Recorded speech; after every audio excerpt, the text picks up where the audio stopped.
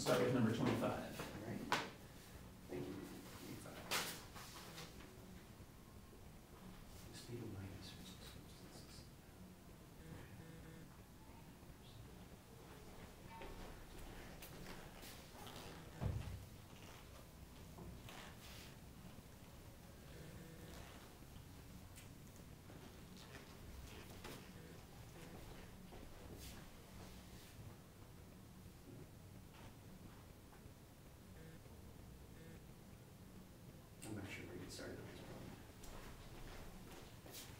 Wrote down an equation, that's good.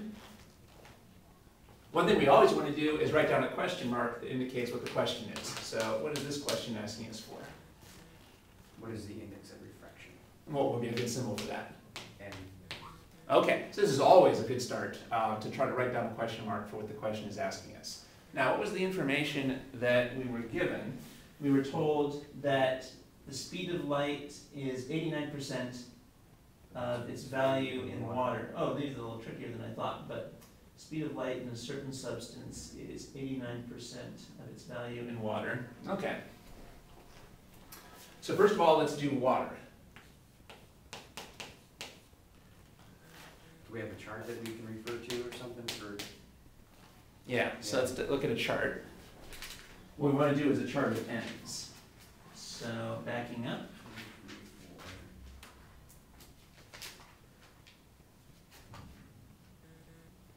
here we go. Um, Water's one point three three. Right, actually, that's the number we were using in the last example too, right? But we can look up in that chart in the book that n is going to be one point three three.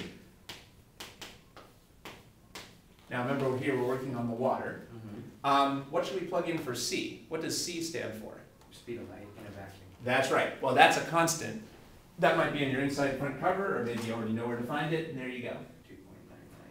That's right. Notice how close that is to three times ten to the eighth. So it's almost always safe to round that off to three times ten to the eighth. So we'll round our c off.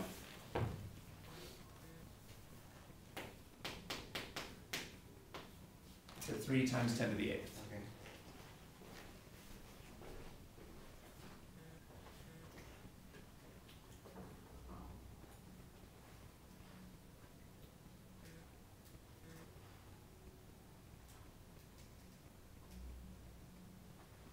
Okay. Okay, then what? I'm, I'm not quite sure. Uh, well, what do we have written down? Well, we got to find B. Yeah, anytime you have an equation in one unknown, we automatically know what to do. Anytime we have an equation in one unknown, we should go ahead and figure out what that unknown is.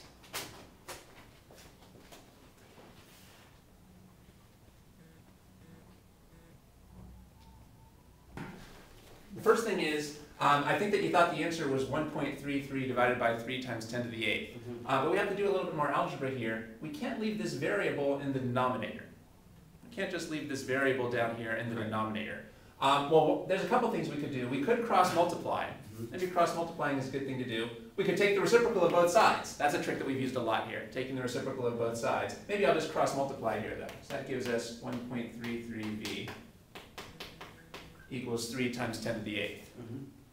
And that tells us that we're dividing into 3 times 10 to the eighth. Yeah, so it's three, yeah, times ten to the eighth over one point three three.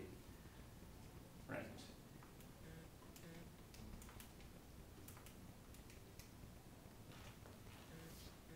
Okay, what did you get for that? A large number. Okay, so let's uh, report that in scientific notation. Times ten to the eighth. Okay.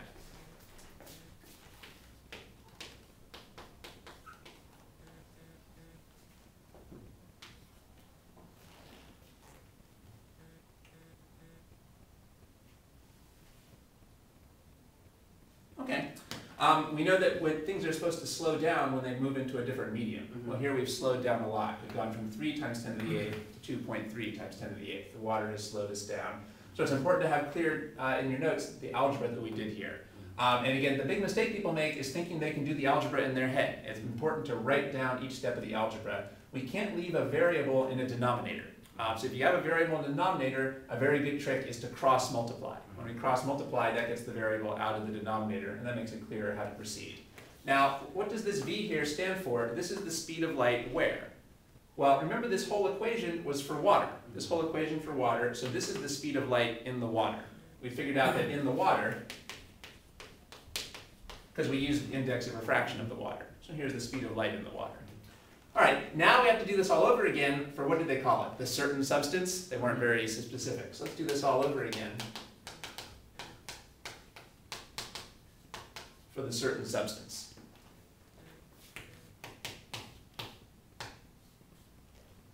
Okay, so we'll use this equation again now, but for the certain substance. Now, what's the information that they gave us? They told us that the speed of light in this substance is eighty-nine percent of its value in water. Okay. How's that gonna help us? It looks like you might have already worked with that there before you cleared it. Yeah. Um, so how does this help us that the speed of light here is eighty-nine percent of its value in water? What, what is the speed of light in the water? Two point three times ten to the 8. Okay, and, um, they told us that in this substance, the speed of light is eighty-nine percent of that. You just multiply by. So we can find eighty-nine percent of that. Anything that we can figure out is gonna be helpful to us in working through the problem.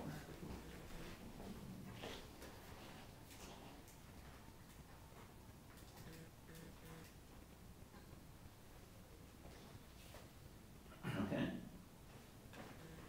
So what's gonna be the speed of light in this substance?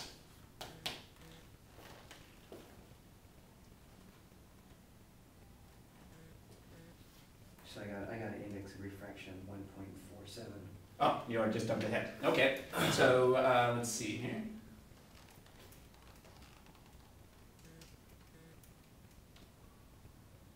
Sounds good. All right, so the speed of light here was 89% of this. So uh, 2.047 times 10 to the 8.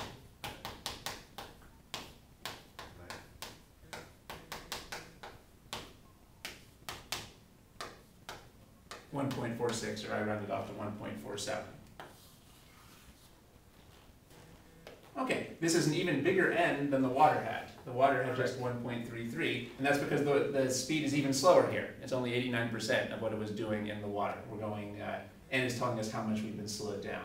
All right, this was a little harder than I thought it would be when we started. So you saw correctly at the beginning where we're going to have to use the N equals C over V formula. However, we had to use it twice, and the clue for that is they talk separately about water and this certain substance. So first of all, we had to use this formula for water, and that gave us the speed of light in water. Uh, and then they told us that the speed of light in this certain substance was eighty-nine percent of that. Then we could use the equation all over again. So you can see every substance has a different n, because every substance slows the light down by different amounts.